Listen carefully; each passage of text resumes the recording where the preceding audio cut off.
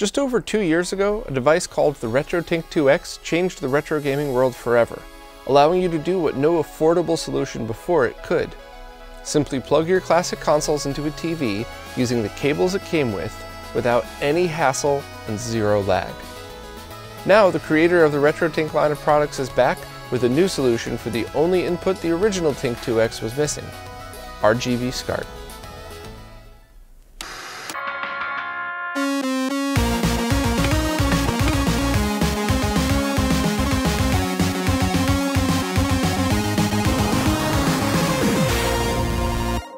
Before I get started, I'd quickly like to tell you about Floatplane, Patreon, and other support services I'm signed up for. Supporters get early access to most videos, access to the weekly Q&As, and most importantly, support all of the behind-the-scenes research and development that I'm a part of. If you're interested, please check the links below, but for now, I'll just jump right into the video. The 2X SCART is a device that takes RGB from your classic consoles and converts it to a 480p HDMI signal. It does this using the same technology that was in the original RetroTink and comes with all of the same advantages and benefits. It adds zero lag and makes sure your TV processes the signal correctly. See, your average flat screen TV doesn't understand what classic game signals are and often processes them as if they were TV signals. This usually results in a flickery image and a lot of lag, if it works at all. Like the original RetroTink, Using the 2X SCART is about as simple to use as it gets. Connect your cables, turn on your TV, and start gaming. You can pretty much use any USB power device, including the USB port on most TVs, and unlike the original Tink 2X, this HDMI port is full size, as opposed to the original's mini HDMI.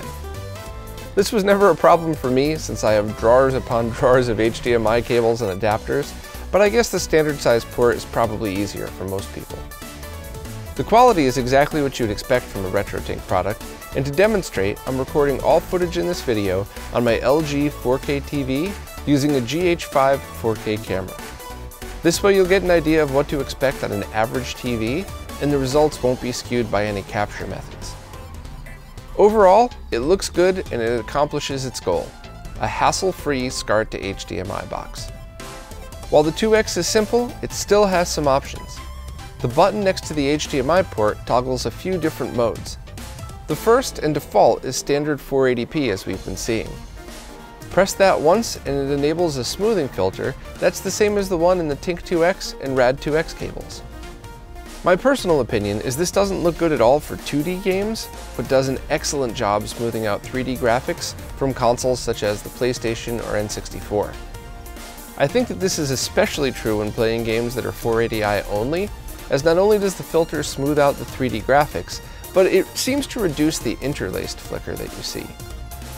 Unfortunately, native 480p games for consoles like the PS2 and Wii isn't supported, but those consoles generally get 480p via component anyway.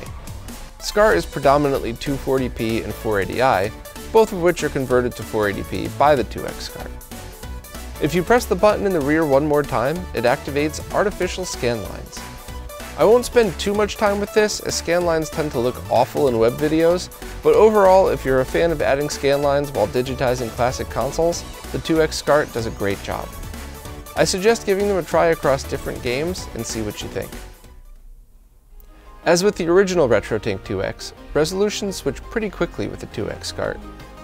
Here's a typical scenario of a PS1 game with 240p gameplay and 480i menus.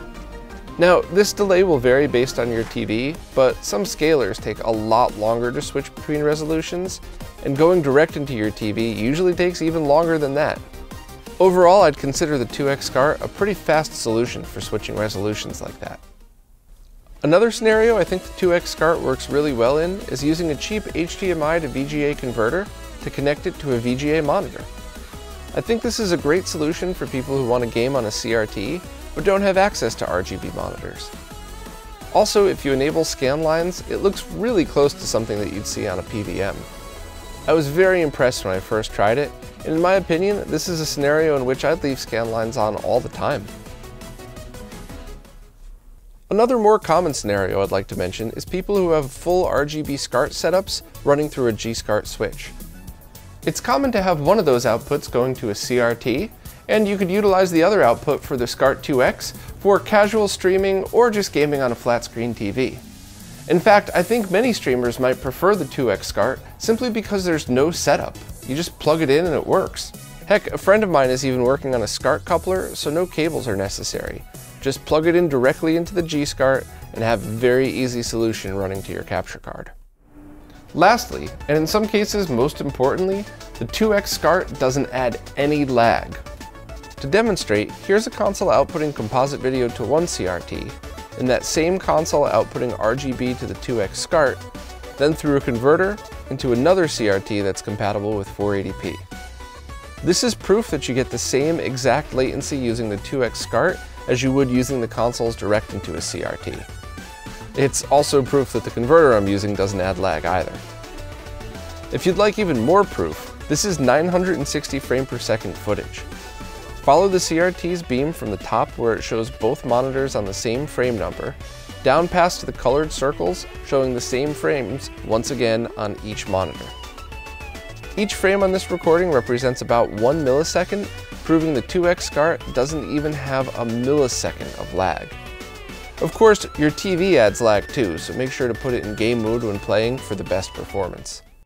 Overall, I think the 2X SCART absolutely accomplished its goal of being a simple to use, inexpensive device that just works.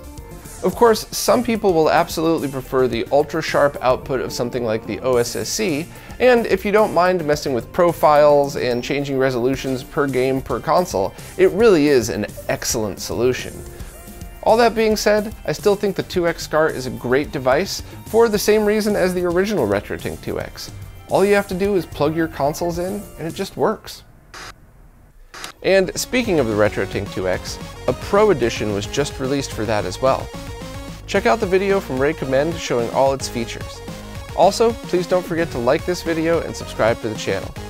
Thanks, and I'll see you next time.